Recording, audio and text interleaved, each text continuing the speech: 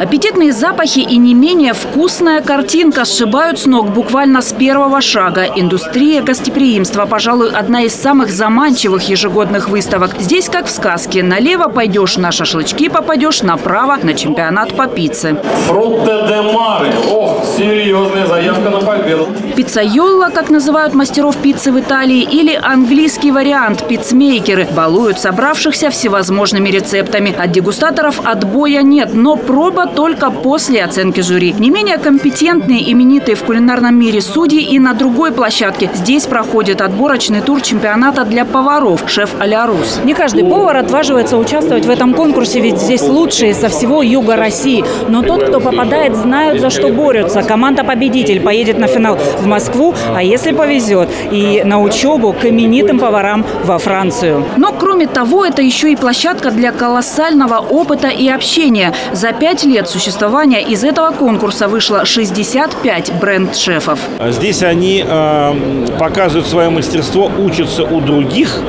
И э, после того, сейчас первая смена прошла, э, мы с ними отрабатываем обратную связь. То есть мы им говорим, что хорошо, что плохо. Ну, это просто бесплатная учеба для них. Что готовите? А, Сейчас я делаю оладики из овощей. Очень хорошо сочетается с тем, что я делаю на холодную закуску. Сушеф одного из ростовских ресторанов Расул Тимеев говорит, кто не рискует, тот известно что. Сам пришел на конкурс впервые попробовать свои силы. Все-таки конкуренты серьезные, но шампанского-то хочется после успеха в Москве и во Франции.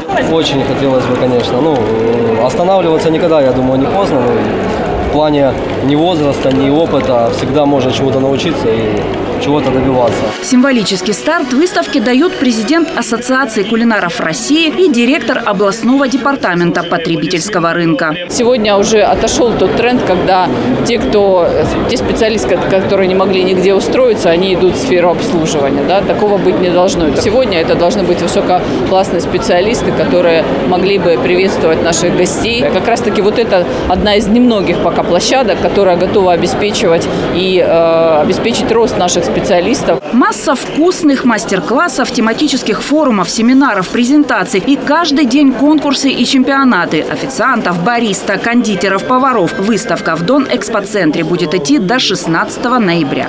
Марина Черных, Сергей Вишняков, Дон 24, Ростов-на-Дону.